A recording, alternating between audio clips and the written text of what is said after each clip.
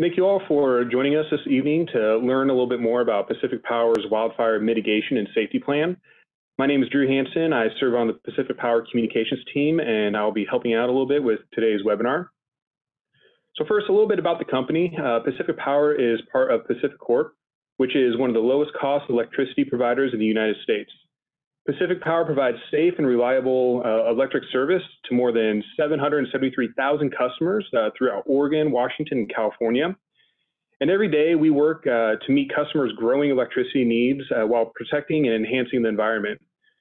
You'll hear about a number of the um, innovative ways uh, that we're doing just that uh, during today's presentation.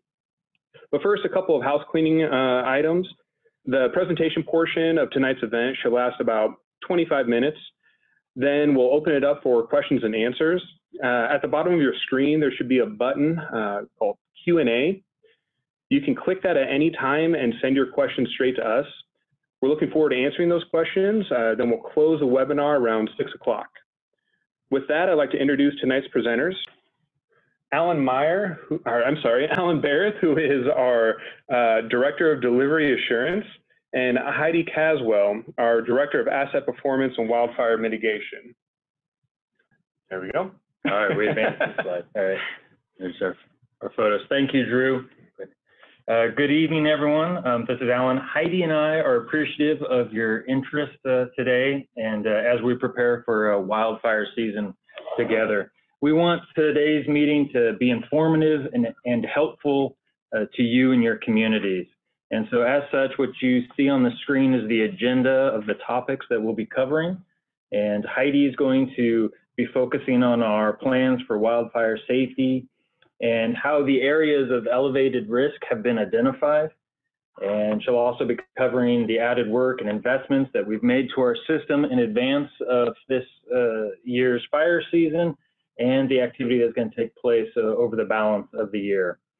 And then I'll be covering our community education and outreach and what we're doing, uh, including things such as this webinar, uh, to keep you and your neighbors informed.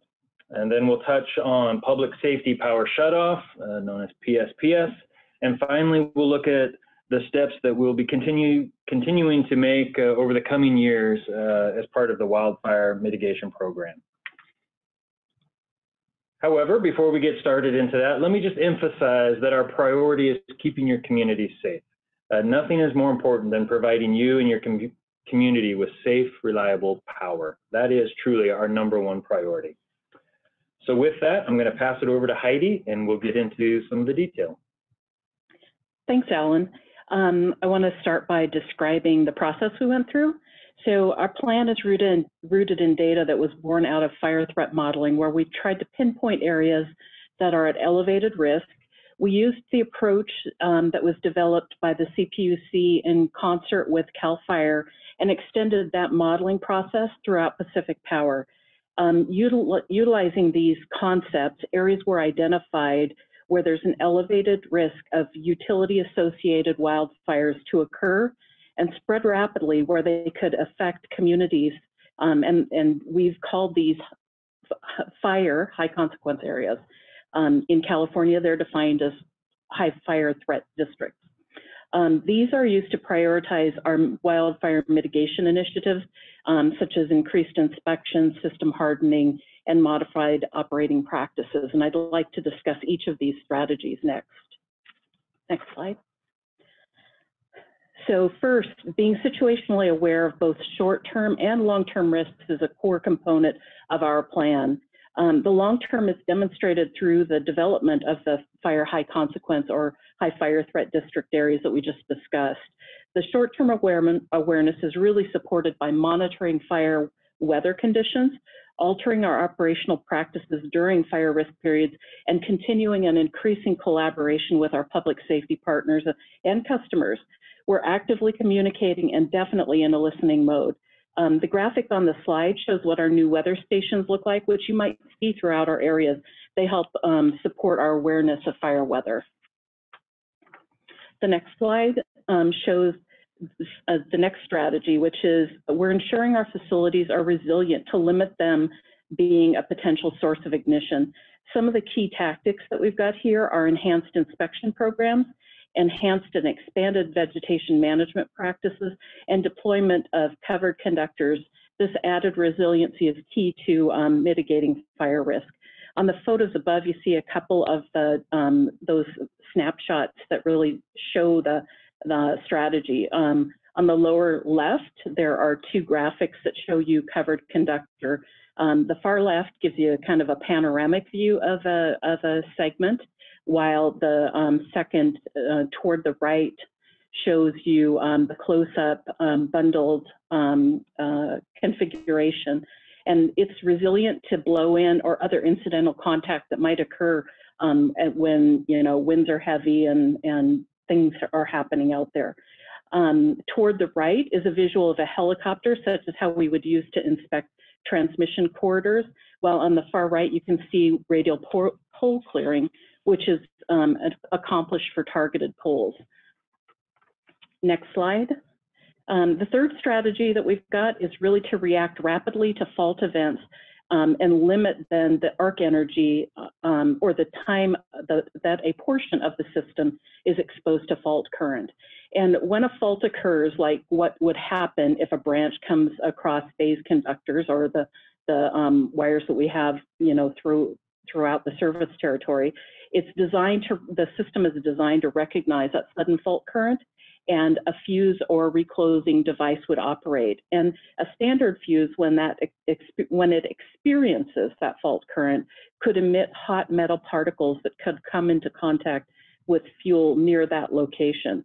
On the lower right, a non-expulsion fuse is shown, and what that means is that if um, it operates because of fault current, any potential um, uh, emissions are actually contained within that fuel body or within the, um, the fuse body, excuse me. Um, and above that to the, um, to the left, upper left, the, um, that device is actually a non-expulsion lightning arrestor, another component that we have um, on our system that is a fire mitigation strategy. The photo in the center actually shows the waveform that um, our sophisticated new um, relays and um, reclosing devices see on the system, and they detect any kind of waveform anom anomalies um, and uh, react more rapidly than legacy um, devices would. So now that we've talked about those general strategies or those overarching strategies, let's talk about what we've done to prepare for fire season. On the next slide, you see our pre-fire season activity. So um, a summary of the work um, and the investments that we've made um, to prepare in advance of this year's wildfire season. First, we've completed visual inspections, which we've augmented and embedded into our ongoing program. And this is specifically targeted in those areas that are fire high consequence areas. We've also added vegetation inspections, including, um, again, targeted um, pole clearing or, or clearing around targeted poles within the fire high consequence area. To support situational awareness, we've maintained our weather stations that we installed last year. There were 23 of them, and we've initiated daily weather um, and fire weather forecasting as of May 15th.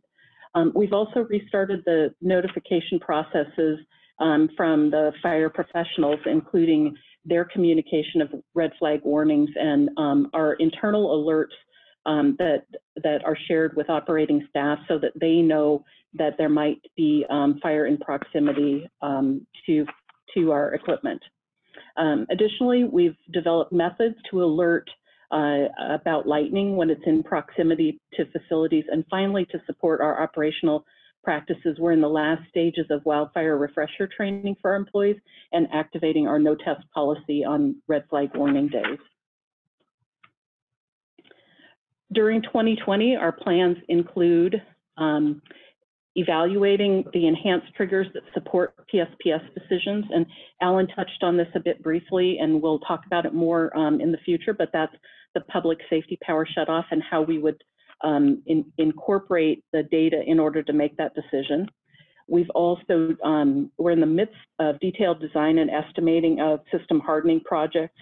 We're also delivering a portion of those. That includes this year 90 miles of covered conductor 76 relays and reclosers, and conducting about 20 pilot project locations evaluating um, new technology called incipient fault detection or distribution fault anticipation. We're also adding 22 new weather stations, um, and throughout the service territory, we have um, adopted alternate relay um, and recloser settings that allow us to configure the um, devices for different um, uh, fire weather periods. We continue to collaborate with, um, uh, with our public safety partners, including the state forestry agencies and also the county emergency management folks. And we're enhancing our data sets for vegetation management um, using a variety of technologies to, um, to tune that better yet. Um, and now I'd like to turn it over to Alan Barrett to continue this discussion. Thanks, Heidi. Um, another important component of our planning and preparation is ensuring that you and your neighbors have the information you need to prepare. And as you can see on the screen, we are reaching out to our customers in multiple ways. And through the month of May and June, we're running a series of wildfire safety related advertisements in our service areas that have the elevated risk of wildfire that the FHCA areas that Heidi was just describing. Um, and those advertisements are reinforcing a wildfire safety message while also directing individuals to our website for additional information and resources that are available to them. One of the items that we want to highlight in our communication is the Public Safety Power Shutoff, or the PSPS. And want to emphasize that this is a last resort measure in our wildfire mitigation plan. But in the event of extreme wildfire weather conditions, we might initiate a PSPS. And this is a, a proactive measure to shut off power during weather conditions that could result in a catastrophic wildfire. Now, what leads up to that? There's no single factor that drives a PSPS. Um, and each one is a unique situation. It takes into account the weather, how dry it is, hot, windy days, it takes into account local information by reaching out to emergency services, local officials, our own field employees to get a sense of what's really going on in the community, what would be the impact of a PSPS event, what is the duration of the forecasted weather. All these things come together in the decision making of whether or not a, a PSPS event will occur. The expected frequency uh, based on historical weather data is that a PSPS event is, would not be a, a common event to occur. And although it's impossible to predict uh, with complete certainty uh, when and where and how often extreme weather conditions could occur, just given the rapid uh, changing environmental conditions that do exist, and, and, we're recognizing that. A PSPS event will last as long as the extreme wildfire weather conditions uh, exist, and, and as long as it takes for us to inspect and repair our equipment in the affected area to make sure it's safe and that we can restore the power without incident. I also want to note that the steps of a PSPS event, as far as de-energizing sections of our system, is, is a very similar to part of our normal planned outage process, where we might take a planned outage as part of a, a typical construction system uh, enhancement on a section of our line. And we would use those same tools and controls uh, to initiate a PSPS event, to de-energize a section of line, use those same tools to communicate with our customers on what to expect leading up to that de-energization, during, and even the eventual restoration of power. We'd be in communication with customers, letting them know where we're at and what to expect. So we'd use the same tools that we have in our normal planned outage process in the PSPS event as well. Specific to PSPS outreach and communication, earlier this month, an email was sent out to city and county officials uh, that are in our potential PSPS areas, updating them about the work that we're planning uh, as far as mitigation wildfire efforts, and also a new web tool and, and web resources that are available. Uh, similar communications went out in bill messages that will be running until the end of June, which will notify customers who are in these potential PSPS areas and where they can find additional information on our website. And on your screen right now is the new tool that we've put on the website that's available uh, for customers, which is an interactive map. You can see that on the left-hand side of the screen there, where customers can go online, enter in their address, and that interactive map will zoom in to that location and describe whether or not that location is within a PSPS area. If it is in the PSPS area, it will describe the name of that specific PSPS area and the current status. Below the table on that same web page is, or below the map is a table of all the PSPS areas and provides a seven day forecast of that PSPS um, area based on the weather conditions and weather forecasting from the weather stations that we've installed.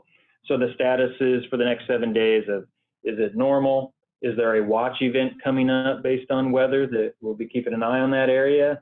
Or is it actually in an event and how long is that event forecasted to take place?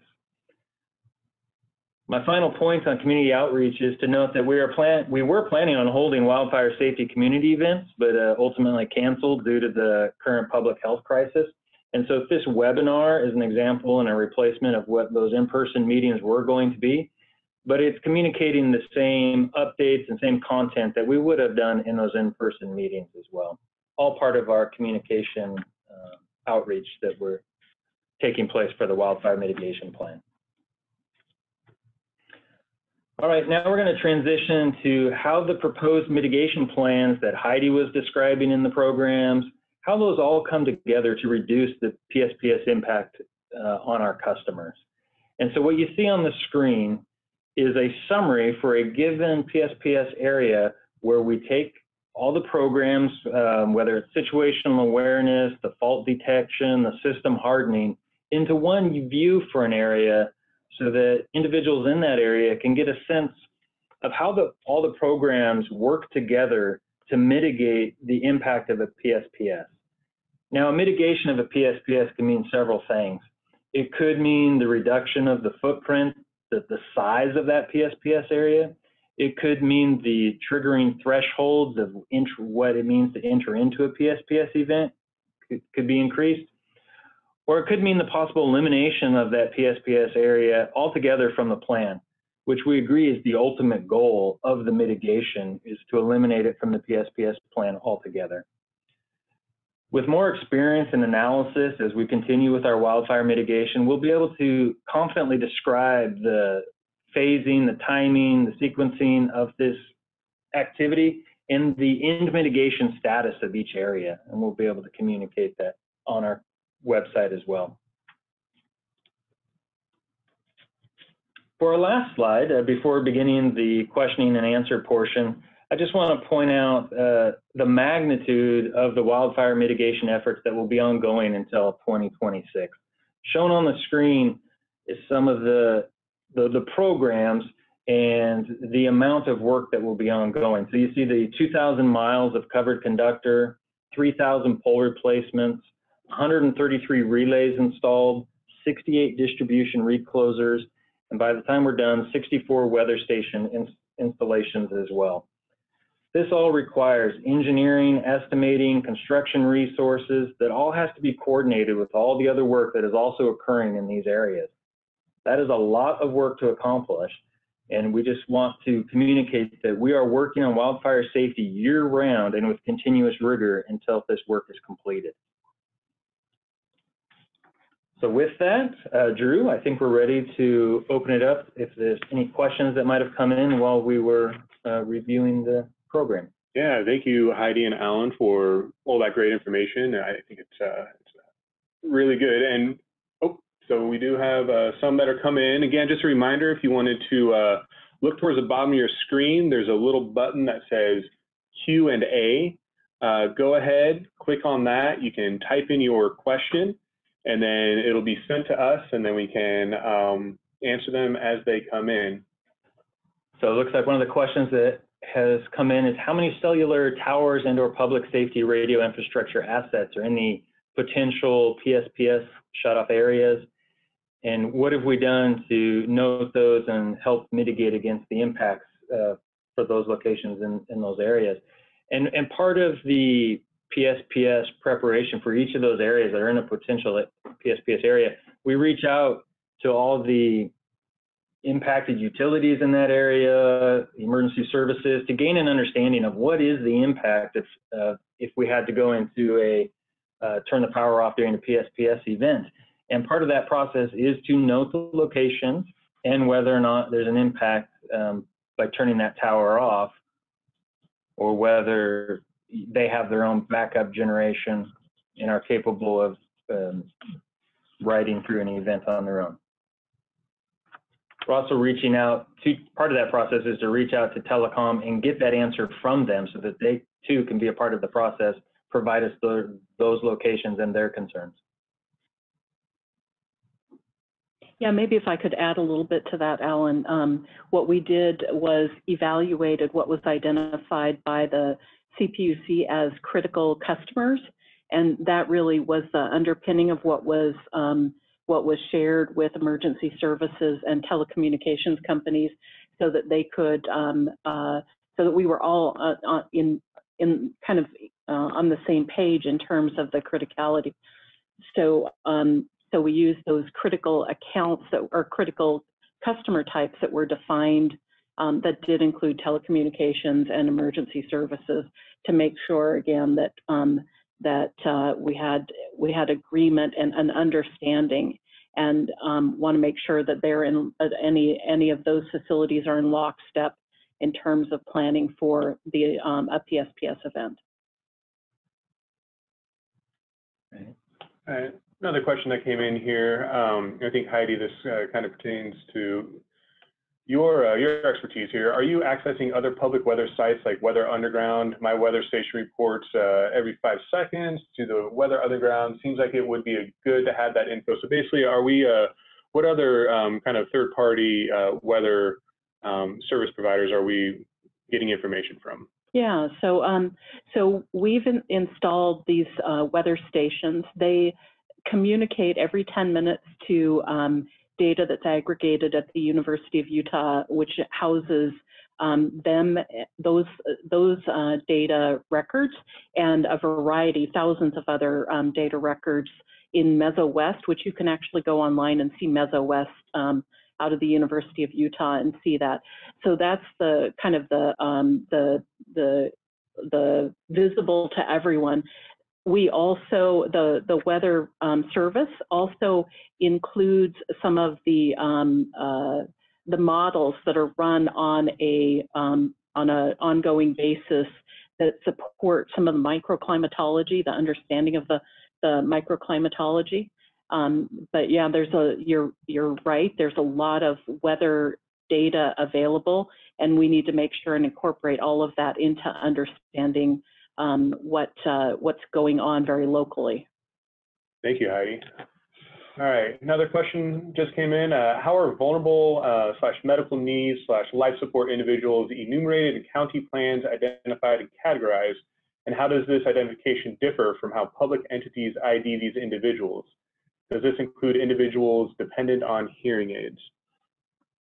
So reaching out to our customers and part of that communication plan, letting them know that if they know they fall into this category of vulnerable and medical needs, life support individuals, letting them know to contact us and let us know that they are that category so that in our system we can note that and know that part of our PSPS process is to reach out to those individuals um, and give them notification in advance of a PSPS uh, event occurring, right? Yeah, and uh, another strategy around that to um, uh, communicate with that population is working with community-based organizations, um, social service um, organizations, and medical clinics, and making sure that they have uh, our information um, because they know those populations well and able to uh, get that information to those individuals. And then another uh, question coming in, are there Spanish-speaking staff at Pacific Power's Customer Care Center? Are there plans to make emergency communications and website content available in Spanish? Um, and the answer to all that is yes. Um, we do have in our customer care center a Spanish speaking staff that can uh, take those phone calls. And just recently, uh, we uh, established a Spanish um, uh, web page specific to wildfire safety and public safety power shutoff uh, that is uh, currently on our website. It- And it's also, um, I guess, valuable to know that other languages are also supported, right? That, that is correct. There are uh, a number of other uh, language that are supported uh, through our call center. Um, individuals uh, with specific language needs, as they call in, we uh, contract with the service um, that will be able to facilitate that conversation uh, based on the topic. So I know one of the, obviously, the first question that came in was about how we're noting c- communication, critical infrastructure, but if you, often there's other questions about how we're partnering with local communities for other infrastructure, emergency services. And, uh, and I guess we, just to note that that's exactly, we want to partner with each community, local services to make sure that we're coordinated um, and that we understand what infrastructure is in place, what are their concerns going into an event, and that we would pull that together as part of even the decision making of a PSPS event is to reach out to local, you know, agencies and and and understand what infrastructure is impacted to make that decision together. Good. Uh, another question here. The work you're doing, uh, will it avoid a public safety power shutoff in the future? Um, and how long to complete that work? Right, so I touched on it there at the end to give you a feel for the amount of work that is in the scope of the wildfire mitigation taking place all the way out to 2026, with the goal of minimizing the, the PSPS events and impacts, right? The goal, and so how many there will be as the wildfire mitigation plan unfolds. I also noted it's already anticipated to be a rare event based on historical weather data we have available to us and coupled that with the mitigation work that we have planned would make it even less likely as a required mitigation step. Okay, thank you for that. Um, in the event of an anticipated public safety power shutoff, will you provide representatives to the state and local emergency uh, command centers uh, in the affected areas? That is part of our process. Our emergency management um, department um, would be in coordination with that, and we would provide uh, a representative to be tied into that process. Um, Heidi, this one uh, might be for you here. Uh, you mentioned installing covered conductors. Assuming you are talking about primary voltages, do you have concern about relay coordination in a down primary event? So um, we we have experience with not just covered conductor, but what we what's called spacer cable, where um, the covered conductor, uh, uh, the graphic showed it in a um, a configuration. Um, it's a it's it's intended to um, this the, the the it's it's a designed it's designed to have the connection between the pole and the um, and the arm, the the bracket, basically be kind of the the weak link in it. Um, and the and we've had experience with this installation, no problems with it uh, performing uh, and failing, I guess. Um, we still have process that um, recognizes there could be a concern around uh, down conductor. So when we have installed covered conductor in an area and we know that there has been um, wind uh, or other kind of physical damage that could have occurred or wind or other things that could have caused physical damage, we um, patrol those particular areas to make sure that there is um, no risk. And this is an area where um, we're anticipating that the new relays that we install will also help us understand whether there have been any changes. So kind of the convergence of the sophisticated um, relays along with that um, incipient fault detection um, uh, are expected to provide us the assurance that everything is exactly as it should be. Okay, thanks for that, Heidi. If there is a wildfire already burning, um, our local emergency personnel would be swamped. Will we be looking at power outages on top of that?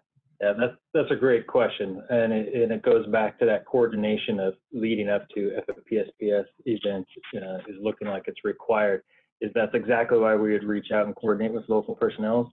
Uh, personnel. We don't want a PSPS event to make the situation worse And so it's an understanding of what does uh, local emergency management need of us. And our, we, we can sectionalize our system based on that feedback to try to accomplish both. Keep the power on where, they need the power on for whatever the current situation is and minimize uh, the, you know, where the, the power is during a PSPS event. So it comes down to that situational awareness and um, just really being plugged in with the, the local uh, people on the ground to know what's happening. And yeah, okay. Thank you, Alan. Uh, when and where will this recording be posted? Will it be sent to all registered attendees? Um, we will have this in the next 24 to 48 hours. It will be posted onto the um, Pacific Power website at pacificpower.net forward slash wildfire safety. And then, uh, yes, uh, I, I, I, will uh, get that out to registered attendees as well so that you have a copy. I'll have to look into how to do that, but we will get it to you. Um, looks like we have uh, one more question here. So if you, if you have anything else uh, that you'd like to ask, uh, please feel free to send it in, but this is the last one that we have on the, the list so far. how do you coordinate with neighboring electric utilities, Presumably, presumably uh, the public safety power shutoff areas are just within Pacific Power Service territories. So I'm trying to think of, of a scenario. The PSPS areas are at the distribution level, and as far as interconnection, there wouldn't be with another utility. Um, so it is the Pacific Power Service territory where we've defined the areas that we can de-energize and not impact a neighboring utility. That's not to say we couldn't be in coordination with a neighboring utility to give them our status and what we're thinking and see what they might be doing during the same event. Um, but it's not that we're interconnected. Okay. I think it's worth noting, Ellen, as well, that the PSPS areas are kind of micro in nature. I mean, we've tried to keep them small um, so that so that there isn't, you know, kind of a, a, um, a wholesale um, uh, de-energization for an area. Good point. Thanks for that added context, Heidi. Can you say more about sectionalizing critical infrastructure and how consulting local organizations plays into that decision?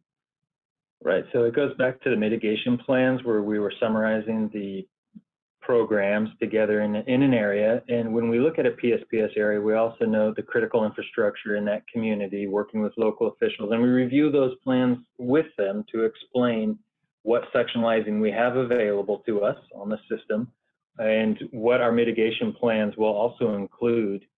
Um, and so with their feedback of an understanding of well, where do they see the critical infrastructure, where is it, what are their needs, and where is our, can our system be sectionalized uh, to accomplish both, um, is where we bring their, their feedback into the process. And so we didn't uh, do this in a vacuum it is definitely with the coordination of uh, the local communities and, and ongoing. I should note that as well. It wasn't that we just did it one time at the beginning of this process, but becomes an annual exercise of reviewing that in case something changed, or even as we implement these mitigation plans with the covered conductor and all that, the areas that are impacted on of, of a PSPS will be changing and the boundaries moving uh, as the mitigation plan is implemented. All right, another question. Will you be coordinating a similar Q&A in each affected community? Um, you know, plans right now, we're still in very close communication with uh, community leaders, um, emergency management, um, and local officials. And we have uh, tabletop exercises, uh, basically, which would kind of do a, a role play if a PSPS were to happen. Um, and right now, you know, we're, we are continuing to work closely with those groups and organizations. Um, and if they uh, express a, a, desire to have a Q&A, we'll definitely uh, make that available. But right now, um, in addition to having this webinar on the website, uh, all um, customers uh, within PSPS areas um, will receive an email with a link to this webinar as well, uh, letting them know that this is available for them to view.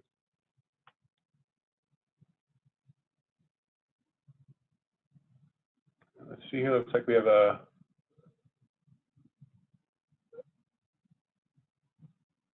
Okay, a couple more coming in here.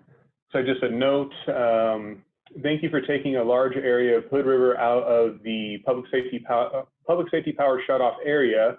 are you going to continue to reduce the size of the PSPS areas around Hood River and or elsewhere? Right.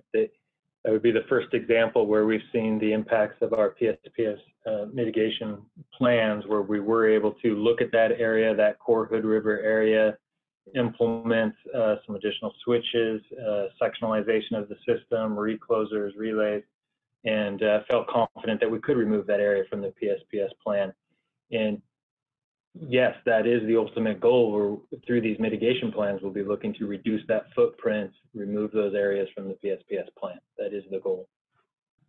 Have you put any new switches in a tier three uh, area of Siskiyou, uh, Siskiyou County to minimize? We've um, we have installed specific uh, equipment and are actually starting our first covered conductor installation that is focused around the uh, the circle um, uh, that um, uh, that uh, um, that it, we call the ring fence around um, uh, Mount Shasta. So that is a big the bigger part of our tier three in um, in California. So you'll see you'll see uh, crews beginning that work here shortly.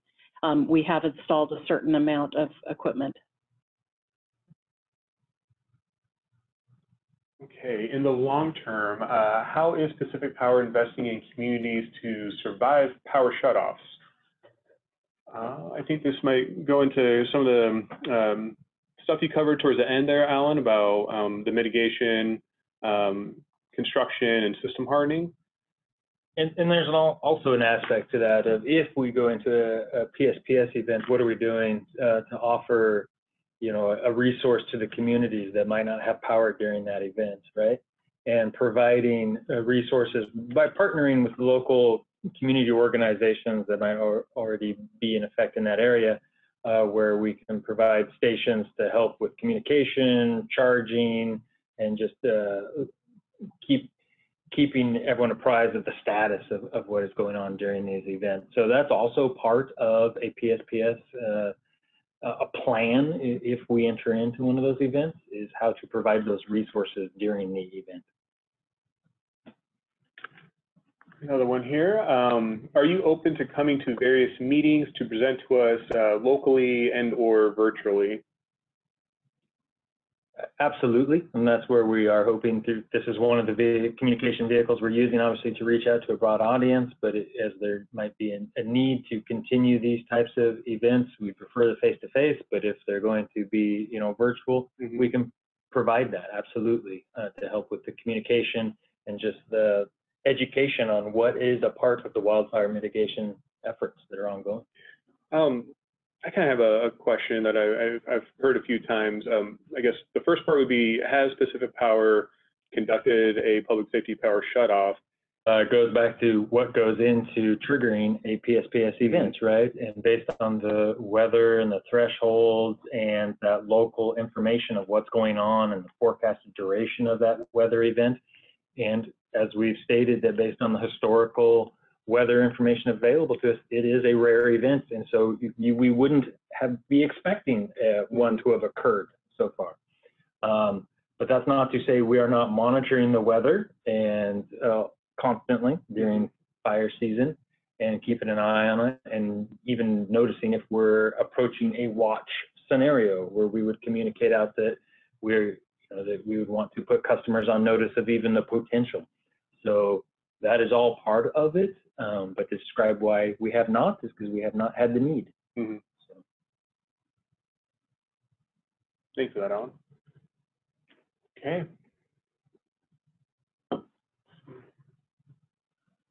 Who is the best person to contact for further information? Um, you can contact uh, me, Drew Hanson. Um, I'll give out my, my email here. and I put, should put this in the slide, but D R E W dot H-A-N-S-O-N at pacificorp.com, and that's P-A-C-I-F-I-C-O-R-P dot C-O-M. Uh, just feel free to send me an email, and uh, we'll, we'll get you the information that you're looking for. All right. Okay, well, I think that uh, we can kind of about wrap things up here. Again, if, if uh, another question comes to mind, uh, whether it's today or tomorrow, whenever, feel free to send me an email. Again, that's drew.hanson, D-R-E-W dot H-A-N-S-O-N at pacificorp.com, P-A-C-I-F-I-C-O-R-P dot C-O-M. Um, thank you all for coming out and joining us for our wildfire safety and mitigation presentation. And thank you, Alan and Heidi, uh, for sharing all this great information. Uh, as noted before, we'll have this webinar available on our web website. Um, so if you'd like to share it with others, you can uh, send the link. And also you can find uh, the maps that were mentioned earlier, earlier, the interactive map and the forecasting table, and a wildfire safety and preparedness resource center. Uh, all that can be found at pacificpower.net forward slash wildfire safety. Again, thank you all for spending some time with us on this important topic. Uh, we look forward to continuing, um, you know, the significant work and providing you all with information and updates. Uh, have a wonderful rest of your day and stay well. Thank you.